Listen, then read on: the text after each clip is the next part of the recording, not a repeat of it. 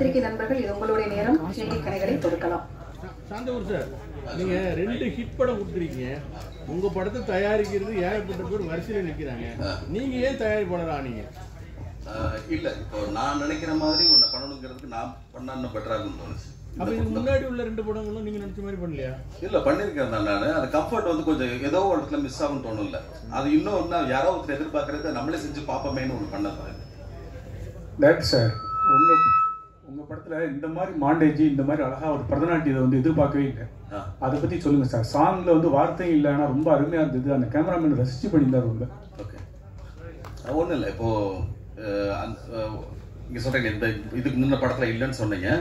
அந்த கதை என்ன கேட்குதோ அதைத்தான் நான் அந்த உள்ள கொண்டு வரேங்க. அந்த கதை வந்து ஒரு பாட்டு கேட்குதுன்னா பாட்டு. அது என்ன மாதிரி பாடல் வேணும் அப்படின்னா அது- அந்த ஒரு ரிசர்ச்ல வந்து கொண்டு வந்துடுறேன் நான்.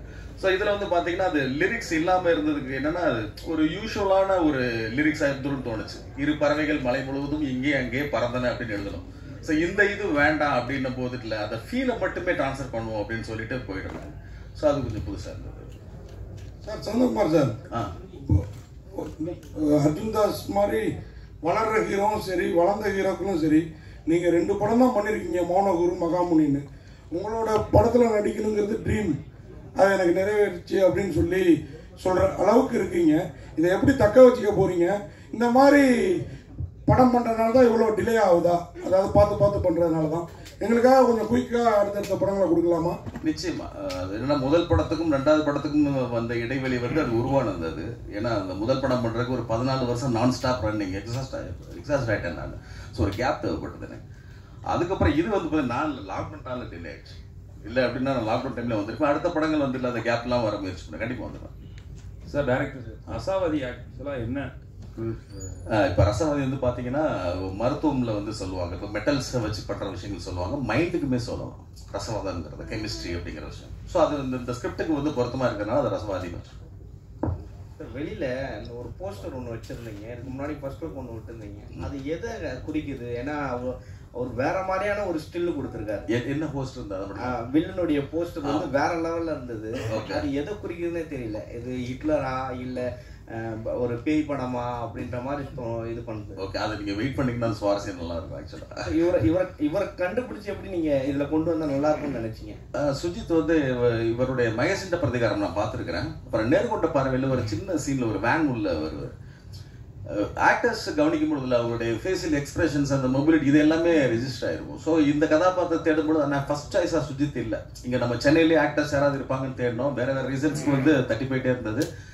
தென் எனக்கு சுஜித் ஞாபகம் வந்து நான் பேசினேன். ஏன்னா ஒரு சின்ன படம்னும் போது நம்ம அங்கேருந்து பீப்புள் வர வைக்கணும் அந்த இதில் காம்ப்ளிகேஷன் உங்களுக்கு புரியும். ஸோ அதனால் பேசினே அவர் பிடிச்சிருந்தது. நான் கரெக்ட் சொன்ன பிடிச்சது வந்து பண்ணிட்டாரு.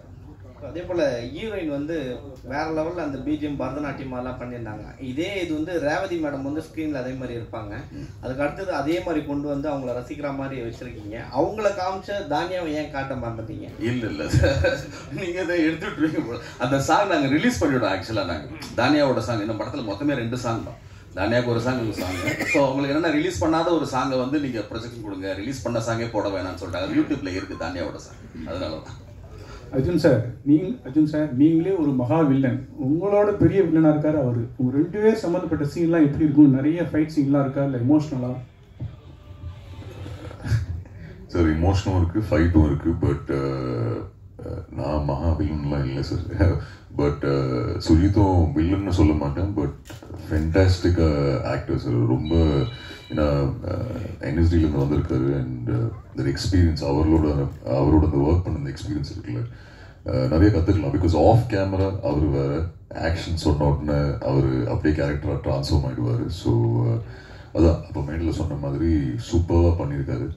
அது என்னோட ஆக்டிங் நாலேஜில் நான் சொல்கிறேன் பட் கண்டிப்பாக உங்கள் எல்லாருக்குமே அது ரொம்பவே பிடிக்கும். அண்ட் ஐ ஹோப் மே டென்த்துக்கு அப்புறம் அவருக்கு நிறைய ஆஃபர்ஸ் வரணும். Not only வில்னா but you know as as a lead as different characters uh, wishing you the best with once again. Arjun brother அதாவது வந்து நீங்க அன்னைக்கே சொல்லியிருந்தீங்க ரொமான்ஸ் சீன் வந்து இந்த படத்துல வந்து கொஞ்சம் நிறைய பண்ணியிருக்கேன் அப்படின்னு சொல்லி. ரெண்டு பேரோட யாரோட அதிகமா இருக்கு? அஹ், எப்படி வந்து வந்திருக்கு ரொமான்ஸ் சீன்ஸ்லாம் இதுல அது நீங்க பார்த்து சொல்லுங்க எப்படி வந்திருக்குன்னு. சாந்தா சார் ஷார்ட் ஓகே சொல்லிட்டாரு. ஸோ இல்ல ரொமான்ஸ் இருக்கு சார் தானியாவோட இருக்கு அண்ட் ரேஷ்மாவோடையும் ரொமான்ஸ் சீக்வன்சஸ் இருக்கு ஸோ நீங்க படம் பார்த்து சொல்லுங்க. ரொமான்ஸ் வருதா இல்லையா நீங்க சொல்லுங்க. Tanya sir director sir Tanya, Tanya பொதுவாக ma'am. பொதுவாக சித்த வைத்திய கேரக்டர் சித்த வைத்தியர் கேரக்டருங்கிறது சினிமாவில் ரொம்ப ரேரான ஒரு விஷயம். அப்படியே வந்தாலும் அவர் ஒரு வயசானவரோ பைஜாமா போட்டு பட்டை போட்டுட்டு இருக்கிற மாதிரி தான் சித்த வைத்தியரை காட்டியிருக்காங்க. முத முதல்ல ஒரு யங் சித்த வைத்தியரை நீங்கள் கேரக்டரை உருவாக்கியிருக்கீங்க.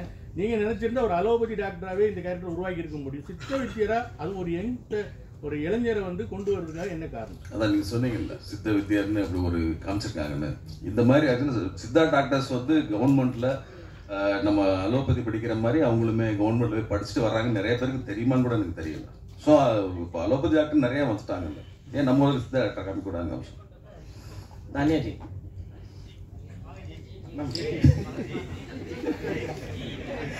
இல்ல படத்துலயே பேசும்போது கம்மியா தான் பேசுறீங்க. ஆனா ஆக்டிங்ல வேற லெவல்ல இருக்கு. படத்துல எந்த அளவுக்கு வந்திருக்கு உங்களுடைய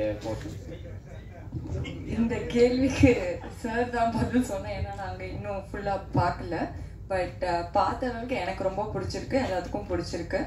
அண்ட் யா படத்தில் நிறையா பேசியிருக்கேன். அது ஜென்ரலாகவே எனக்கு அவ்வளோவா பேச வராது. அது உங்களுக்கு பயணம் தெரிஞ்சிருக்கும். சாரி அதுக்கு. ட்ரை பண்ணிக்கிறேன். இன்னும் நிறையா பேசுறதுக்கு. சார் சந்தகுமார் சார் அதே மாதிரி இப்போ இந்த ஜிஎம் சுந்தர் அவருக்கு அந்தாண்டைக்கு அந்தாண்ட இன்னொருத்தர் இருக்கிறாரு. இந்த மாதிரி நடிகர்கள்லாம் தானிய மேடம் கூட இவங்கெல்லாம் கொஞ்சம் பெக்குலியரான ஆர்டிஸ்ட் இவங்களெல்லாம் எப்படி மனசுக்குள்ளாரையே இந்த கதை எழுதுற போய் நிறுத்திப்பீங்களா? இப்போ அர்ஜுன் தாஸுமே அதுதான். அன்னைக்கே கேட்டதுனால அவரை போட்டேன். இவங்க எல்லாரையுமே கதை எழுதுறப்ப இதுக்கு இவங்க கரெக்டாக இருப்பாங்க இருப்பாங்க அப்படி ஒரு ஃபீல் பண்ணி எழுதுவீங்களா? எப்படி? என்னன்னா கதை எழுதும் பொழுது அந்த கேரக்டருக்கான உருவம் வந்து நிற்கும் அந்த ஸ்கெட்ச் ஸோ அந்த முகத்தை தேடி போறதா ஒவ்வொருத்தருமே. சிலர் வந்து அந்த உருவம் ஒத்து வந்துடும் அந்த பெர்ஃபார்மன்ஸ்ல வந்து அது இல்லாம இருக்கும். ஸோ அதே ஒரு திரும்ப நீங்க ட்ரை பண்ணும் ஸோ ஃபர்ஸ்ட் என்னன்னா அந்த அந்த கதாபாத்திரம் டிமாண்ட் பண்ற அந்த உருவ அமைப்புள்ள வந்து நடிகர்களை தேர்ந்தெடுக்கிறது ஃபர்ஸ்ட் அது முடிஞ்சிருச்சுனாலே பாதி வேலை ஓவர் அதுக்கப்புறம் வந்து பெர்ஃபார்மன்ஸ் வந்து அதே மாதிரி நம்ம சாப்பாட்டிலே ரசங்கிறது வந்து நான்வெஜ் சாப்பிட்டாலும் ரசம் தேவைப்படும். வெஜ்ஜு சாப்பிட்டாலும் அந்த செரிமான நான்வெஜ்ஜுக்கு இது தேவைப்படும். இந்த படம் வந்து இப்போ மலையாள படங்களை கொண்டாடிக்கிட்டு இருக்கிற தமிழ் சினிமாவுக்கு ஒரு ரசமாக ஒரு மாற்றத்தை தருமா? இல்ல இப்போ மலையாள சினிமா இப்போ எல்லா எல்லா சினிமாவுமே எல்லாருமே கொண்டாடுறாங்க. நல்ல படம் இருந்துச்சுன்னா இல்ல அது என் மொழிலாம் இல்லை. இப்போ நம்ம கேஜிஎஃப்லாம் கன்னட படம் நம்ம ஊர்ல இப்போ பார்த்தோம் கொண்டாடினாங்க. ஸோ அது மாதிரி மஞ்சுமல் பாய்ஸ் வந்து அது மலையாளம் கொண்டு நல்ல படம் வந்து எந்த இப்போ போஜ்பூரில இருந்து ஒரு படம் நல்ல படம் நம்ம ஊர் ரிலீஸ் பண்ணாலுமே நம்ம ஜனங்க பார்ப்பாங்க. ஸோ ரசவாதியும் அதே மாதிரி என்கேஜிங்கான ஒரு படம் பிடிக்கும் எல்லாரும் டேரக்டர் சார் உங்களுக்கும் அர்ஜுன் தாஸ் ரெண்டு பேருக்கும் கொஸ்டின் யார் சொன்னாலும் ஓகே தான். எப்பவுமே வந்து ஒரு ஆக்டரோட பேரை போட்டு தான் படத்தோட டைட்டில் ஸ்டார்ட் பண்ணுவாங்க. ஆனா உங்க பேரை சாந்தகுமாரின் சரா போட்டு தான் ஸ்டார்ட் பண்ணி என்ன காரணம்? ஏன் வந்து அவர் அவ்வளோவா தெரியலையா? இல்ல இது இந்த இதுல வந்து பாத்தீங்கன்னா நீங்க சொல்றது ஒரு கமர்ஷியல் ஃபிலிம்ல வந்து அந்த ஒரு ஒரே ஒரு கதாபாத்திரத்தை மையப்படுத்தி ஒரு நகரம் இல்லையா? ஸோ அதுல இதுல இருந்து எனக்கு நான் எல்லாருமே நான் மிஸ் பண்ண விரும்பல. ஸோ முன்னாடி நான் எல்லாரையுமே நான் போடணும். ஸோ அதனால தான் இந்த இதுல இருக்காங்க இல்லையா? இவங்க எல்லா கதாபாத்திரமும் சேர்ந்து தான் ஒரு கதையை சொல்றாங்க. ஸோ அதனால தான் அது பண்ணி போடணும். ஹீரோயிட்ட கொடுத்துருங்க. ஹீரோ நீங்க எப்படி பாக்குறீங்க? சார் எனக்கு ரொம்ப சந்தோஷம் சார் இன்ஃபேக்ட் அவர் அர்ஜுன் தாஸ் என் ரசவாதினை போடுறது நானே ரிக்வெஸ்ட் பண்ணியிருப்பேன் சார் ப்ளீஸ் சாந்தகுமார் ஓட ரசவாதி இருந்தால் பெட்டர் இருப்பேன் ஏன்னா அதுதான் நான் சொன்னேன். ரிலீஸ் அன்னைக்கு நான் ஒரு ஃபோட்டோ ரிலீஸ் பண்ணுறேன் அது கீழே ஒரு நிறைய ஒரு வயசை ஆல்ரெடி எழுதி வச்சிருக்கேன்.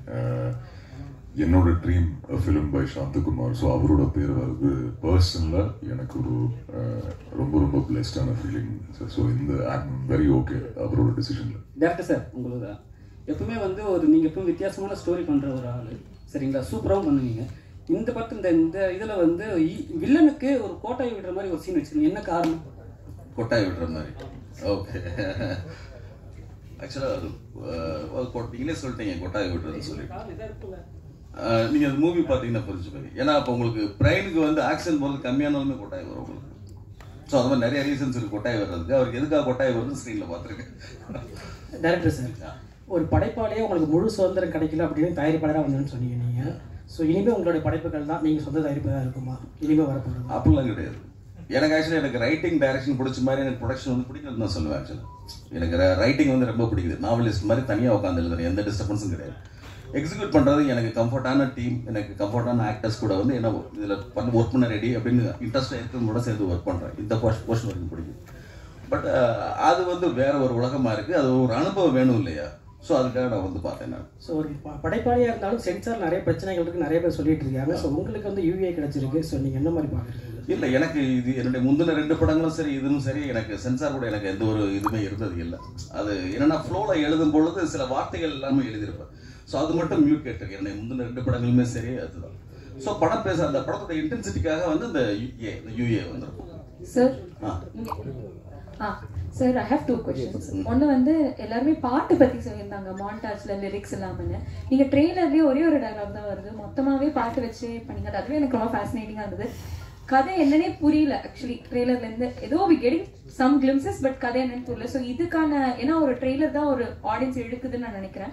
ஸோ திங்கிங் பிஹைண்ட் திஸ் இல்ல அதான் இப்போ ட்ரெய்லர்ல நீங்க கதை புரியலன்னு சொன்னீங்களா அது அது புரியக்கூடாதுன்னு ஹோல் பண்ணோம். பட் நீங்க ட்ரெய்லர்ல பாத்தீங்கன்னா ஓகே ரொமான்ஸ் ஆக்ஷன்லாம் இருக்குதுங்கிறது மட்டும் தான் ஏன்னா மிதினம் ஒரு வால் போஸ்ட் ஒட்டியிருப்பாங்க.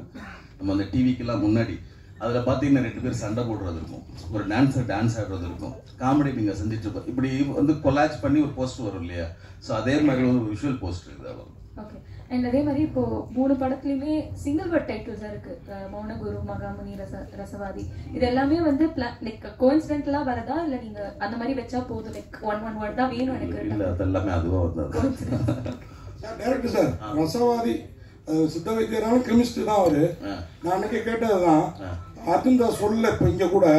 நீங்க சொல்லுங்க யார் கூட அவங்களுக்கு அவருக்கு கெமிஸ்ட்ரி பிசிக்ஸ்லாம் ரெண்டு ஹீரோயின்ல ஒர்க் அவுட் ஆயிருக்குது? அது நீங்க உங்க நீங்களே சொன்னா நல்லா இருக்கும். ஏன்னா ரெண்டு பேர் கூடயுமா இருக்குது. ஸோ அதை எவாலுவேட் பண்றது வந்து என்னோட இது இல்லை. நீங்க தான் நல்லா பண்ணுவீங்க. இல்ல அந்த வட்டக்கானல் காளான் கூட லைட்டா வந்துட்டு போகுது நீங்க. அந்த கெமிஸ்ட் அந்த கெமிஸ்ட்ரி ஒர்க் அவுட் ஆகிறதுக்காக அதனால இல்ல இல்ல. அது கதையில ஒரு சின்ன ஒரு இதா தான் யூஸ் பண்ணிருப்பாங்க நீங்க கேட்டது. அப்புறம் முக்கியமா ஒரு கேள்வி. நம்ம சக்தி பிலிம் ஃபேக்டரி சக்தி. சின்ன சின்ன படத்துக்கெல்லாம் கூட இங்க வந்து உட்காந்துருப்பாரு இந்த மாதிரி இப்ப இந்த கில்லி அவரை ரொம்ப கில்லி விளையாட வச்சிருச்சு அதனாலதான் இல்லையோ? இல்ல. இல்ல அவர்கிட்ட பேசுறது நீங்க தயாரிச்சிருக்கீங்க இந்த படம். ஆமா. இல்ல அவர் சொந்த வேலையா ஊருக்கு போயிருக்காரு. ஸோ அதனால அவர் வர முடியல அவர் சொல்லியிருந்தாரு. Sujith sir Santhakumar sir. ஆ சார் மலையாளத்தில் நீங்கள் நிறைய படங்கள் பண்ணியிருக்கீங்க நல்ல கேரக்டர்ஸ்லாம் பண்ணியிருக்கீங்க இந்த படத்தில் நடித்த எக்ஸ்பீரியன்ஸ் எப்படி இருந்தது? தமிழில் இனிமேல் அடுத்தடுத்து நிறைய படங்கள் நடிக்கிறதுக்கான வாய்ப்பு இருக்குமா நீங்கள் செகண்ட் கொஸ்டினுக்கு நான் ஆன்சர் சொல்கிறேன் ஐ மீன் தெரியாது இந்த படத்துக்கு அப்புறம் தான் ஐ மீன் சான்சஸ் கிடைக்கும்னு நினைக்கிறேன். Uh, ரொம்ப இன்டென்ஸான எக்ஸ்பீரியன்ஸாக இருந்துச்சு காம்ப்ளெக்ஸான கேரக்டர் அண்ட் பட் ப்ராசஸ் ரொம்ப சிம்பிளாக இருந்துச்சு ஹீ வாஸ் எக்ஸ்பிளைனிங் எனக்கு அது புரிஞ்சிச்சு and then I was I don't know. I mean, it just happened. I mean, uh, I tried everything. I mean, uh, like, yeah, I was prepared, um, but it was fun also. I mean, scenes are ve- very uh, disturbing and all those things, but uh, பண்ணும்போது there's a there's I don't know there's a calmness and uh, uh, it was very grounded. So uh, yeah, but it's a very intense experience. Uh, and uh, generally going through areas which uh, no, normal other directors won't go அந்த மாதிரி scenes எல்லாம் அவர் compose பண்ணியிருக்காரு so ya answer Shanthakumar sir அந்த montage song ஒன்று சொல்லியிருந்தீங்க அதில் ஒரு வரியில் இரு பறவைகள் மலை முழுவதும் எங்கோ எங்கோ பறந்ததுன்னு வேற சொல்லியிருந்தீங்க. இதில் பாடல் பெரிதா இசை பெரிதா ஒரு சர்ச்சை ஓடிக்கிட்டு இருக்கு. இதுக்கு அந்த அதற்கான வார்த்தைகள் போட்டால் அந்த பாடலோட வீரியம் குறைஞ்சிரும் அப்படின்னு நினைச்சு இதை செஞ்சீங்க இல்ல வீரியம் குறைஞ்சிரும்ல யூஸ்வலா இருக்கும் தோணுச்சு. ஏன்னா அது நீங்க அந்த பிளேஸ்மெண்ட் பாத்தீங்க அந்த சாங்குக்கு இது அப்படின்னா அந்த நம்ம அதுல என்ன லிரிக்ஸ் எழுத போறோம் சுச்சுவேஷன் சொல்லுவோம்ல. ஸோ அந்த அந்த சுச்சுவேஷன் வந்து பாத்தீங்கன்னா ஒரு யூஸ்வல் சுச்சுவேஷன் தான். ஸோ நம்ம அந்த லிரிக்ஸ் என்னதான் நம்ம ட்ரை பண்ணாலுமே இல்லை நான் சொல்லும் பொழுது இந்த ஒரு அந்த சொன்னது என்னன்னா இந்த எக்ஸாம்பிளுக்கு இந்த சாங் மாதிரிங்க அப்படின்னு நான் சொல்லணும். ஸோ ஒரு ரெண்டு பேரோட அது ஸோ அது ரொம்ப யூஸ்வலாக இருக்குமே போது அந்த ஃபீலை மட்டும் நம்ம கடத்தலாமே அப்படின்னு ட்ரை பண்ணும்போது தான் அந்த பொண்ணுடைய கரா கேரக்டரை வச்சுட்டு ஒரு வெஸ்டர்ன் ஜதி வச்சு ஒரு ஃபியூஷன் ஒன்று பண்ணலான்னு ஒரு ஐடியா வந்தது. அதை தமிழ்கிட்ட பேசிட்டு அதை உள்வாக்கிட்டோம் சார் மௌனகுரு மௌன சார் மௌன சார் ஒரு. மௌனகுரு So, our grandfather வந்து he was into active politics. Our lifetime முடிகிற வரைக்கும் he was not a communist. What about you entering into politics? Do you have any idea about it? Interest? No. Why so? Well, why would it be the first question? I mean, as my grandfather, I mean, there are a lot of other people in my family, and I'm not following them also. So it's a, I mean, it's not a compulsion, no? No, it's not a compulsion. Then uh, uh, you don't have any idea or any interest on it? I have general interests, but I am not uh, part of any political party or. Yeah, but yeah, because I'm from the family, there is a broad uh, politics which I am uh, I have, but I'm not part of any political uh, parties. And, yeah. Sir Mounaguru ಹಿಂದಿಲೇ remake remake ಆಗಬಹುದು தமிழில் வந்த அந்த feel வந்து ஹிந்தி படத்தில் வரல. அதுக்கு காரணம் இன்னொரு டீம் பண்ணதுனால ஒருவேளை இந்த படம் ரீமேக்கு போனால் நீங்களே பண்ணுறதுக்கான வாய்ப்பு இருக்கும். ஹிந்திக்கு போனாவா? எனக்கு தமிழில் பண்ண பிடிச்சிருக்கு ஹிந்தின்னா வேற யாருக்கா கொடுத்தா கொடுத்துருப்பீங்க அது அது யாருனாலும் கொடுத்து வாங்கிக்கலாம் எனக்கு தமிழில் பண்ண பிடிச்சிருக்கு எனக்கு பவுனகுருவே கேட்டாங்க. தெலுங்குல பண்ணுறது கேட்டாங்க. ம மகாமல இது பவுனகுரு வந்து நீங்கள் ஹிந்தியில் பண்ணுற ஐடியா இருக்கான்னு என்கிட்ட கேட்டுட்டு தான் பண்ணாங்க. எனக்கு ஐடியா இல்லை. அது ஒரு டைம் எனக்கு பண்ண பிடிச்சிருக்கு தமிழில் பண்ண பிடிச்சிருக்கு. சார் தமிழ்ல படம் பண்ண பிடிச்சிருக்குன்னு சொல்றீங்க. ஆனா மேக்ஸிமம் வந்து நீங்க தமிழ்நாட்டிலே இருக்கிறது இல்ல. இல்லையே தமிழ்நாட்டில் தமிழ்நாட்டவே ஒரு எக்ஸ்டெண்டடாக பார்க்குறேன்னு நினச்சிக்கோங்களேன். இல்ல அது எல்லாமே சும்மா யாரு ஃபோன் பண்ணாலுமே எடுப்பேன் எடுக்கலைன்னா ஒரு மெசேஜஸ் இருந்ததுன்னா பார்த்துட்டு கூப்பிடுவேன் அது தெரிஞ்ச நம்பர்லாம் கிடையாது. தெரியாத நம்பர் போய் பேசுவேன் ரீச் பண்ண. ஏன்னா ஃபோன் எங்கேயுமே இருக்கும் தான் எழுதும் போது மட்டும் என் பக்கத்தில் இருக்குது ஏதோ ஷெல்ஃபில் இருக்கும். எழுதும் போது மட்டும் சாயங்காலம் போஸ்ட் பாக்ஸ் செக் பண்ணுற மாதிரி எடுத்துகிட்டு பார்த்துக்கிற வழக்கம் இருக்கும். மற்றபடி ட்ராவல்லையோ ஷூட்லேயோ எப்பயுமே ஃபோன் இருக்கு. எனி டைம் ரீச் பண்ணலாம். நீங்கள் வேணால் ட்ரை பண்ணி பாருங்க நீங்கள் கூப்பிடுவாங்க. எனக்கா எனக்கு வந்து இந்த நம்ம பேசுகிற தமிழ் மொழி தெரியும். ஆங்கிலமும் ஹிந்தி அரை குறையா தெரியும். அதாவது ட்ராவல் லாங்குவேஜ் நீங்கள் உட்காந்து இன்ட்ராக்ஷன் பண்ணோம்னால நான் பேச மாட்டேன். இப்போ உயிர் தப்பிச்சுக்கிறதுக்கு தெரியும் வச்சுக்கோங்க. ஹிந்தியும் ஆங்கிலமும் ரேஷ்மா அந்த சாங் நல்லா இருந்தது. நீங்க பரதநாட்டிய டான்ஸரா உண்மையிலேயே அந்த சாங் எத்தனை நாள் எடுத்தாங்க? இல்லை நான் பரதநாட்டியம் டான்ஸர் இல்லை. சதீஷ் மாஸ்டருக்கு தான் அதுக்கு தேங்க்ஸ் சொல்லணும். அந்த சாங் ஃபஸ்ட்டு ப்ராக்டிஸ் பண்ணாங்க. எனக்கு புதுசு தான் நான் ஸ்கூல் டைம்ஸ்லலாம் பண்ணியிருக்கேன் பட் இது எனக்கு புதுசு தான் பட் நல்ல எக்ஸ்பீரியன்ஸாக இருந்துச்சு கற்றுக்கிறதுல பர்ஃபெக்ஷன் வர வரைக்கும் அவங்க அதுக்கு இது பண்ணாங்க. ரொம்ப தேங்க்யூ தேங்க்ஸ் அர்ஜுன் தாஸ் சாரோட ரொமான்ஸ் சீன் எப்படி இருந்துச்சு? நீங்க சொல்லுங்க. அவர் சொல்லல. ஏன்னா நாங்களாம் அதுக்கு ரொம்ப வெயிட் பண்ணிக்கிட்டு இருக்கோம். அது இல்லாம மலையாளத்துல ரொம்ப வெயிட் பண்றாங்க. அவரோட ரொமான்ஸ் படத்துக்காக. அவரோட ரொமான்ஸ் எப்படி இருந்துச்சுன்னு சொல்லணும் அவரோட ரொமான்ஸ் நல்லா தான் இருந்துச்சு. நிஜமா பார்த்தாலே தெரியும். ரொம்ப நல்லா இருந்தது. சொன்ன மாதிரி புதுசா இருந்திருக்கோங்க எல்லாத்துக்கும். எனக்கு நேர்ல பார்க்கும்போது he can do anything அப்படின்னு தோணுச்சு.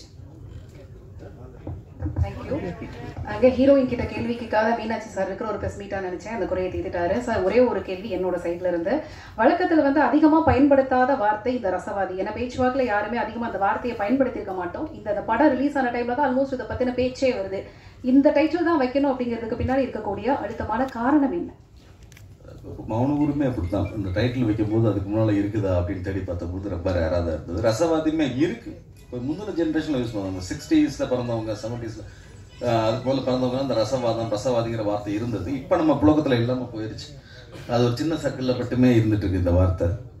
இது ஏன் அப்படின்னு நீங்கள் படம் பார்த்தா புரிஞ்சுக்கணும் தேங்க்யூ சார் ஸோ பத்திரிகை நண்பர்கள் அனைவருக்கும் வந்திருந்து பொறுமை காத்து கேள்விகள் அனைத்தையும் சிறப்பாக கேட்டு முடித்த அனைத்திற்கும் நன்றிகள். மே டென்த் வந்து ரசவாதி படம் ரிலீஸ் ஆகுது. பார்த்துட்டு உங்களுடைய மேலான ஆதரவை இந்த டீமுக்கு வந்து கொடுங்க. தேங்க்யூ நன்றி.